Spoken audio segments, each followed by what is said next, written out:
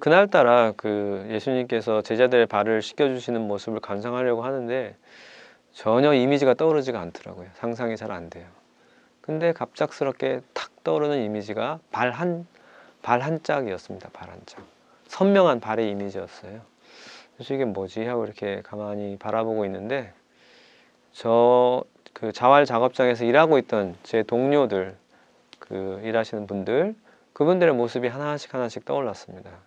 아, 그러니까 그분들의 그냥 어떤 아픈 잘려진 현실이 아, 처음으로 그러니까 제 가슴 속 깊이 이렇게 파고들었습니다. 그래서 그 아픈 마음에 저도 이제 한참 아, 눈물을 흘리게 됐었는데 아, 근데 이 체험이 왜 저에게 중요했었냐면 어, 제가 직접 매일 만나는 저와 함께 하는 분들의 현실을 다른 눈으로 그분들의 입장에서 어떠했을까 하는 아, 그런 눈으로 바라볼 수 있는 아, 그런 가능성을 열어줬던 체험이라고 생각하기 때문에.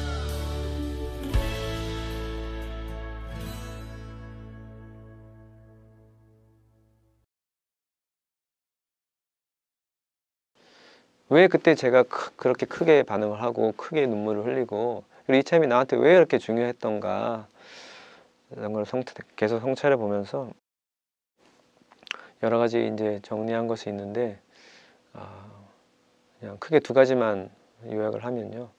한 가지는 제가 함께하고 있는 그 반티프리 앱에서 공부하던 장애를 입고 어, 있던 사람들과 함께 하면서 그분들이 그 장애인 자활 센터에 와서 이 치유를 체험하는데 아, 치유 자신 자기 자신과의 화해 그리고 자기 상처와의 화해 그 어떤 그런 과정을 통해서 치유를 체험합니다. 공동체 생활을 통해서. 어, 그런데 그렇게 치유되는 모습을 보아, 보면서 이 저 안에서도 덩달아서 제 안에 치유되어야 할 부분들이 함께 치유되어 가는 그런 느낌을 받았고 그리고 이분들이 뿜어내는 그 희망 때문에 제 안에서도 제 안에 잠들어 있던 희망들이 이렇게 타오르는 그런 느낌을 받았고 그리고 이분들은 가릴 게 없거든요. 감추, 감추고 싶어도 자신의 그 부서진 모습을 감출 수가 없어요. 그런데 저는 감추고 살 수 있거든요. 근데 그분들의 그런 그 존재 그 자체가 아, 내 있는 그대로의 모습을 그대로 직면하도록 직시하도록 계속 계속 초대하고 있다는 것. 그러니까 그분들과의 만남을 통해서 제가 제 자신에 대해서 저 정직해지고 제가 제 자신에 대해서 더 있는 그대로 바라보고 받아들이 받아들이도록 아, 그분들의 그분들이 자신의 모습을 그냥 있는 그대로 보여주면서 저한테 계속 그런 초대를 하고 있다는 것. 아, 그리고 그분들이 그런 화해 여정을 겪어 나가듯이 아, 저도 이분들과 함께 참된 나 자신으로 다시 태어나기 위한 그런 화해 여정에 초대받았구나. 그리고 나도 이분들, 이 사람들 중에 한 사람이구나. 나와 그 사람들이 아니라 나도 이 사람들 중에 한 사람이라는 것. 아, 그런 깊은 일치감들을 느낄 수 있었습니다.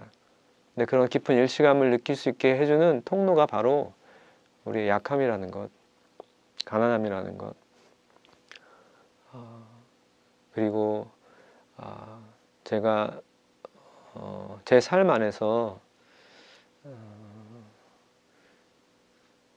그동안에 이제 만났던 사람들 떠올리, 떠올려 보면서 놀랍게도 어느 순간 깨달았는데 저를 아, 정말 바꾸어 놓은 사람은 뭐 힘이 있거나 아니면 돈이 많거나 어, 권력이 어, 있거나 이런 사람들이 아니라 제가 만났던 그 반티프로에서 만났던 사람들 제가 본당 사목하면서 만났던 특히 선택의 기회도 없고 소외되고 약했던 그런 분들과의 만남 그런 분들과 만남을 통해서 일어난 제 내면의 움직임들이 아, 저를 참으로 변화시켜줬구나.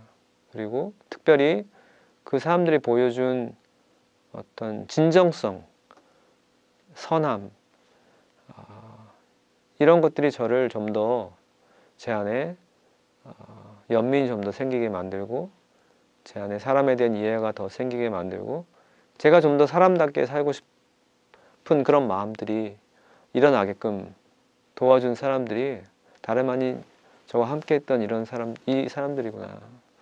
그런 맥락에서 정말로 힘 있는 사람들은 바로 이 사람이구나 이 사람들이구나 그거를 어느 순간 깨달으면서 깜짝 놀랐습니다. 그리고 참 감사했고 어, 그래서 이제 최준호 신부님이 하셨던 말씀 내가 그 사람들 위해서 보내는 것이 아니라 너를 위해서 캄보디아에 보내는 거다. 그 말씀을 좀 더 다른 차원으로 이해할 수 있게 됐고요.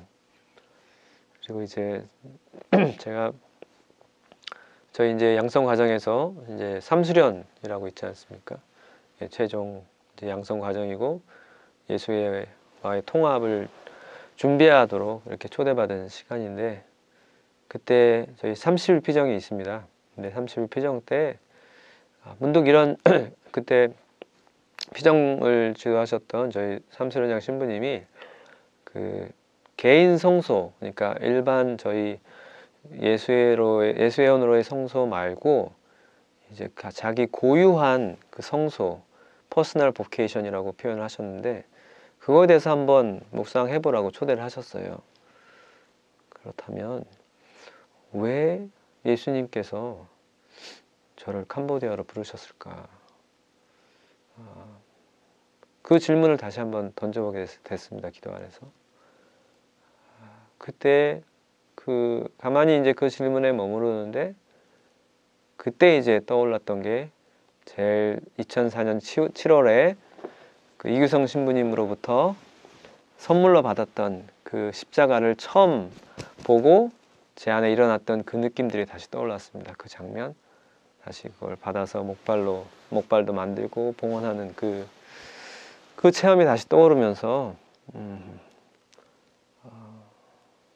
그, 그 체험에 머물렀는데요.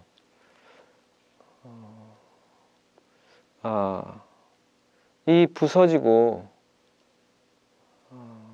나약하고 잘려진 그런 상처를 안고 계신 그 예수님 모습과 정말 부서지고 약한 그런 저 자신이라는 그런 모습과 놀랍게도 일치되는 것이 한 가지 있더라고요.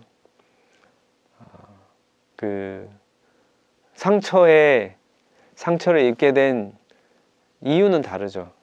예수님께서 그, 그 십자가에 달려 계신 예수님께서 입으신 상처는 세상의 욕심과 세상의 이기심 때문에 어, 근데 그것을 사랑으로 품어 안으시고 함께 어, 고통받은 사람들과 아파하시기 위해서 아파 그런 아픔을 나누기 위한 어, 당신의 그런 사랑의 표현이라면 저에게 있어서 그런 쪼개지고 부서진 약한 상처는 저의 약함, 저의 죄 때문에 생겨난 것인데, 아, 근데 그렇게 다르지만 그 부서짐과 약함이라는 측면에서는 이제 그 같다는 것이죠. 근데 그런 부서지고 약한 그 예수님이 이 부서지고 약한 저라는 인간을 부서지고 이제 쪼개진 약한 상처 입은 캄보디아라는 땅으로 부르셔서 그 그곳에서 당신께서 하시고자 하는 또 하고 계시는 그 화해와 치유의 사명에 함께 하자고 저를 부르고 계신다는 것 그걸 다시 한번 깨닫게 됐습니다. 그러면서 아, 그러면서 저에게 이 대화 중에 어, 들려주시는 것 같은 말씀이 아, 나는 너를 캄보디아에 심고 싶다. 내가 너 너에게 이미 심어져 내가 네 안에 이미 심어져 있기 때문에 내가 너를 캄보디아에 심어서 어, 너와 나와의 관계를 통해서 어, 내가 드러나고 싶다. 어, 그러면서 그런 이제 어떤 일종의 음, 이제 확인이라고 할까요? 그 제 성소에 대한 확인 그리고 어, 제가 아주 크게 위로를 받았던 것은 아, 그, 이 부서짐과 약함이라는 그것 때문에 예수님과 아주 깊이 하나 되어 있다는 그런 느낌. 아, 그 당시에는 정말 형언할 수 없는 그런 위로를 받았습니다.